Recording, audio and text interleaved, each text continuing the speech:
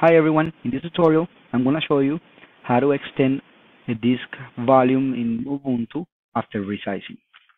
So we go to this right now, after we did the resize, uh, we're going to see that we have a free space of 15 gigabytes, but we aren't using it.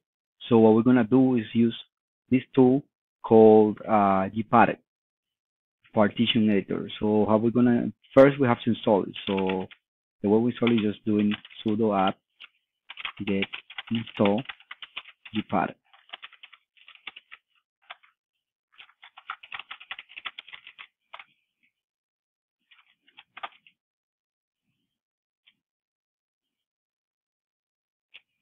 Now it's already installed.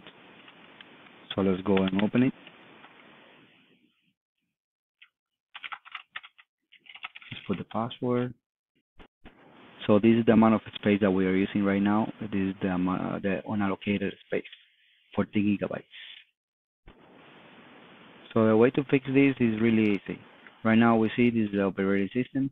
So we have 4 gigabytes. Let's remember that. And the way to fix it is just right click on Linux swap. So go and then swap off. Then we go to extended, resize. Let's take over all that space that we're not using. So we have all this in the space. So we go back to Linux, swap, and we resize it back, but now to the right size. But right point, let's resize it to 4 gigabytes. So it will be 496. Don't worry about this error message. So now let's get the extended rectangle back to the to 4 gigabytes. So we go resize we move from the left to the right side. And then we're going to extend the disk.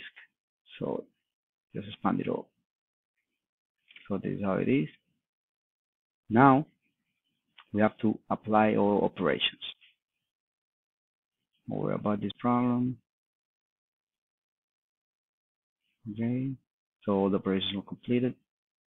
Close, right?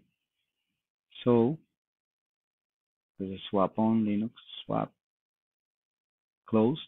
and now let's restart the operating system, virtual machine.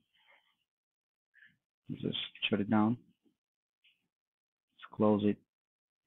Let's open it again.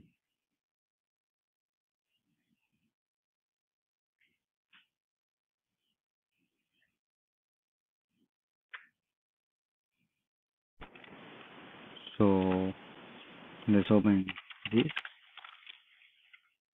So right now we are making use of the whole space. So we have 28 gigabytes. So that was it. I hope you guys enjoyed the tutorial